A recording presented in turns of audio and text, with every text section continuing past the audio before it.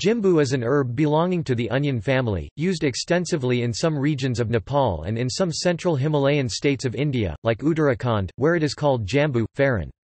It is composed of two species of allium, A. hypsistum and A. przewalskianum. The herb, which has a taste in between onion and chives, is most commonly used dried. In the Mustang district of Nepal, it is used to flavor vegetables, pickles, and meat. In the rest of Nepal it is most commonly used to flavor urad dal or lentils. The dried leaves are fried in ghee to develop their flavor.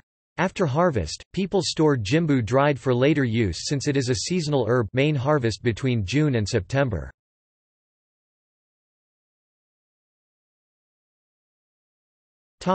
Uses The above-ground parts of these plants are used for spices and traditional medicines.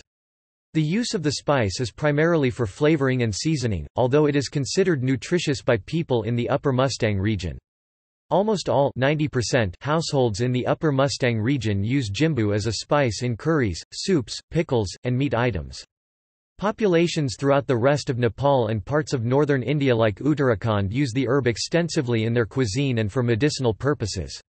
Jimbu is also considered to be a high-value medicinal plant collected from Nepalese hillside pastures.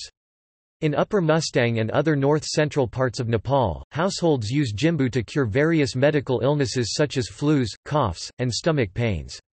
This could be related to the isolated nature of these villages, living in regions that do not have basic health facilities. In a 2006 study, 95% of households in the Upper Mustang region of Nepal use jimbu in cooking, mostly in curries. 38% of households use jimbu as medicine mostly as a treatment believed to help flu. 52% of households report having been involved in jimbu collection and this percentage varies wildly by household size, with vastly more jimbu collection in households of size 5 to 6 people, with much less jimbu collection in sizes larger or smaller than that number.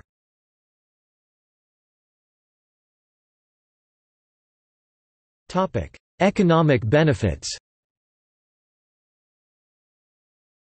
After collection, the jimbu plant is dried in a closed area, such as a shed, for several days before it is completely air-dried.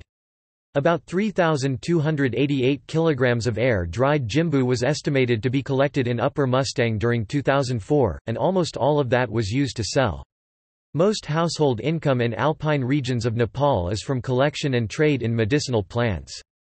In the Upper Mustang region of central Nepal, agriculture, wild plant collection, and seasonal trading are the most important economic activities for local livelihoods. Most households in the Upper Mustang region are involved in the collection of wild jimbu. The sale of jimbu makes a significant 10% contribution to the annual household income in Upper Mustang. The income derived from jimbu is significantly influenced by the involvement of a household in the seasonal trade. On average, the annual income from Jimbu sale for households involved in the trade was about $70 USD in 2003 and 2004. People usually act as both the collectors and traders of Jimbu in order to maximize profits earned.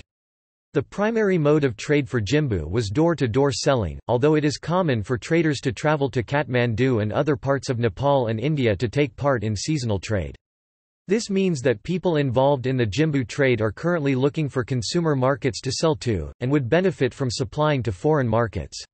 Furthermore, spices like Jimbu can be high-value, low-volume cash crops, and international trade in this product can enhance rural Nepalese incomes and livelihoods.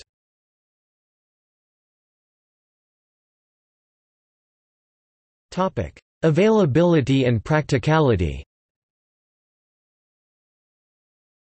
There is a consistent availability of A. hypsistum, however A. przewalskianum was considered to be vulnerable in the 1990s.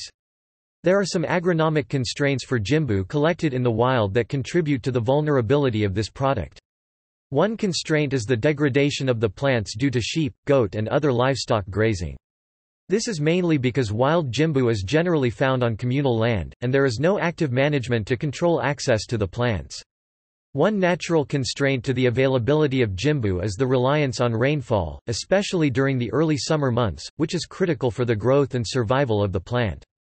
Most of the hillside land surface within the Mustang region lacks vegetation, and the sandy soils can easily become eroded by wind, snow, and rain, resulting in challenges for local livelihoods and agriculture. The jimbu plant species can be seen as an answer to erosion, as they grow in clumps in high arid regions with sandy soils. Because of the remote, mountainous areas where jimbu is found, collection mainly involves physically able and energetic people. This means that collection is not always practical for elders or physically unable people to take part in.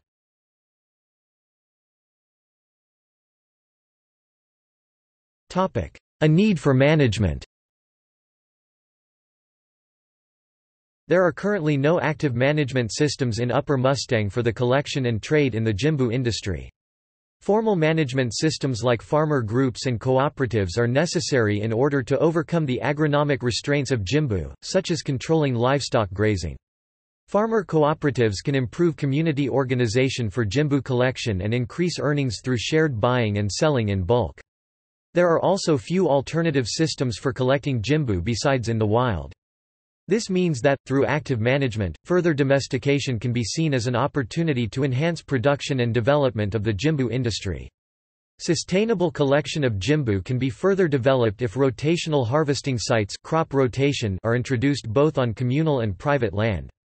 Jimbu, along with other spices, does not require extensive inputs of cash, machinery, land or labor in order to profit from. This means that jimbu can be planted in gardens or close proximity to a poorer Nepalese household in the Mustang region, and especially on hillsides where the plants grow. A profitable crop near the household can benefit women in particular, mainly because it is easier for them to be involved and tend to the jimbu plants.